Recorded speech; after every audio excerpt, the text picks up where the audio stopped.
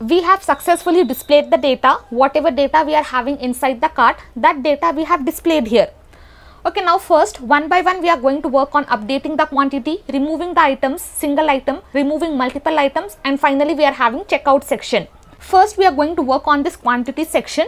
Now here inside the database for quantity default value we have set as 0 okay default value you can give anything. If you want to give 1 2 3 4 okay whatever you want you can give. But as of now i have given the default value as 0 okay let it load. Now here now when user enters 3 now this 3 should be updated inside the database. Now whatever value i am having here that should be updated inside the database. And for mango i should be getting the output as 3 now here you can see quantity by default i have given here 0 okay it completely depends on you what value you want to store. Now suppose if i just give here 3 for this one. Now this 3 should be updated here. Let me just come. I'll come here. Now first for better understanding i'm just going to empty this entire cart. I'll just come to operations.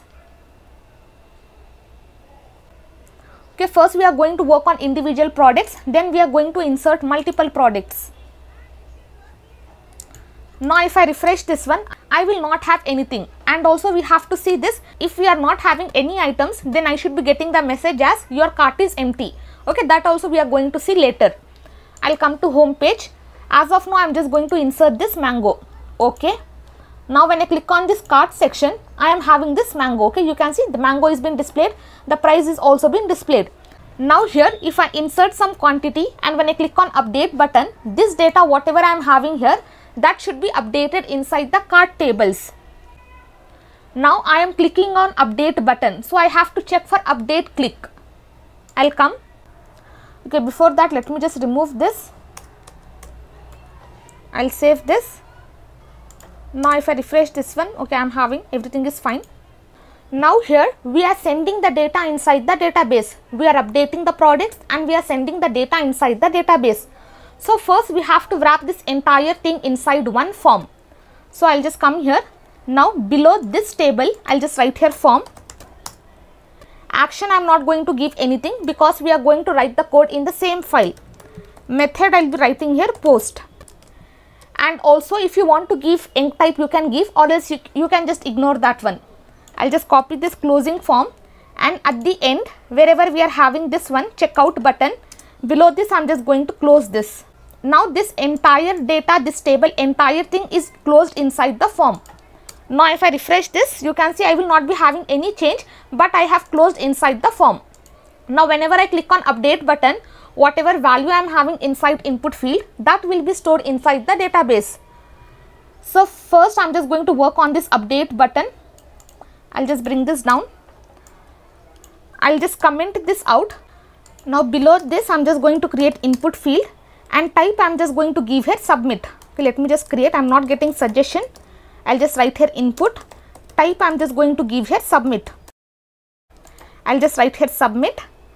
Then next inside this I'm just going to write the value. Value I'll just write here update cart. Update cart. I'll save this. I'll just close and save. Now if I refresh this one you can see this has been changed. Now for this I am just going to add some classes. Whatever classes I have given here, I will just copy the same class and inside this input field I am just going to paste that one. Now if I refresh this one, the stylings will be applied. Now for this input field, I am just going to give the name attribute. As I always tell, whenever we are writing the code in PHP, this name attribute is very very important. I will just write here name. Inside this, I am just going to write here update cart update underscore cart. I'll save this. Now if I refresh this one, I will not have any change. Now here we have to update the quantity. For quantity, we have already created this input field and inside this we are having this type is equal to text and for this also I'm just going to give the quantity. Okay, name is equal to quantity. ID if you want you can give or else you can just remove. Class I have just given form input and width to be 50. Now below this td we are just going to write the php code to update the quantity inside the cart table. Now here I am just going to write the php code. Now first I just have to get the IP address. I will just copy this one and here I am just going to paste. Okay, now here if you don't give this global then also it is going to work because we are not including any function. As of now I will just remove this. Now if I refresh this one you can see I will not have any effect, I will be getting the proper output. We have made that connection variable as global because whenever we were writing functions, we have to make that one or else we will be getting the error. Now first I have just accessed the IP address. Now here I am just going to write if is set whenever my update button is clicked only then I have to update this data. For update I have given this value. Now here I am just going to write post. I will just write update cart now inside this first I am just going to access the value from this input field. To access that one I will just write here quantity. Quantities is equal to dollar post. Using post method I am accessing this value qty. I will copy this and here I am going to paste. Okay, whatever value I have entered inside this input field like 5 whatever value I have entered that value I have accessed I have stored inside this variable after getting this one I have to update the cart table. So here I am just going to write update cart. Inside this I am just going to write update query. I will be writing update cart details. Okay that is my table name. Update cart details. And I have to set this one. Okay this is the syntax of update query. Update cart details. Set quantity. Okay this is the column name. Set quantity is equal to this one. I'll copy this. And here I'm going to paste set quantity is equal to this one and here I am just going to write the condition where IP address where IP address is equal to this particular IP address whatever we are getting. I will copy this one and here I am going to paste. Okay, now if you see here inside the database inside this cart table I am having colon colon 1 for each and every product I am having the same IP address because we are working in the same system so I will be having the same IP address. Now whenever I click on this update, it is going to update all the four fields. No problem, we are going to see one by one. Then after that we have to execute this query. I'll just copy this and here I'm going to paste. I'll copy this update. Let me just change the spelling. I'll copy this variable. I'll just paste that variable here. Once we update the quantity, we have to update the price as well. So for that, first I'm just going to write here total price total price will be equal to whatever total price I am having into this quantity. Okay, suppose I am having total price as 200. Now, if I increase the quantity to 3, so 200 into 3. So, in the same way 200 into quantities, I will be getting the total price. I will copy this and here I am going to paste. Now, this total price we have already passed here. We have already passed inside this subtotal section. I will come here.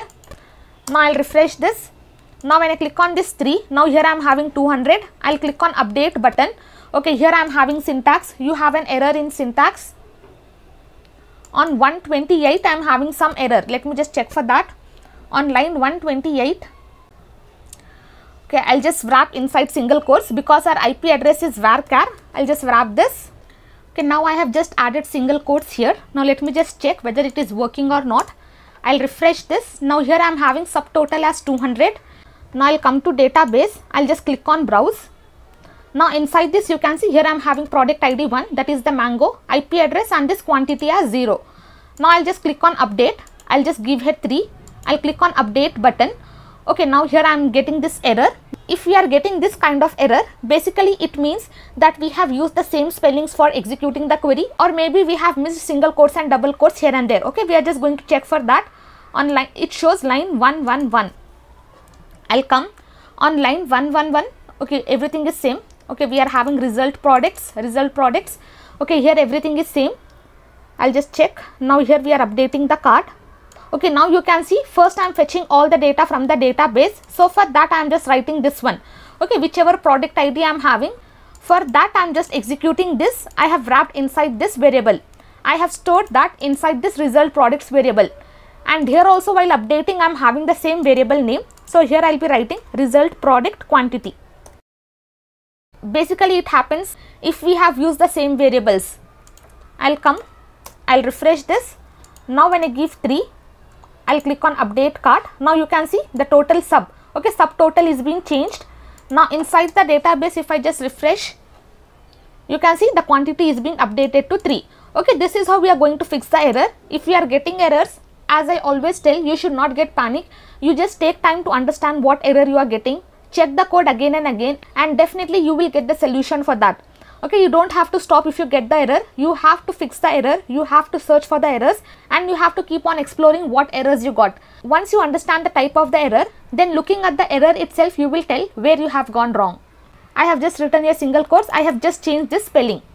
Rest everything is same. We are just updating the quantity. Next, we are going to work on how to remove the items. Okay, this is how we are going to work with update quantity. Next, we are going to see how to remove items, how to remove single items, how to remove multiple items and finally then we are going to work on this checkout section.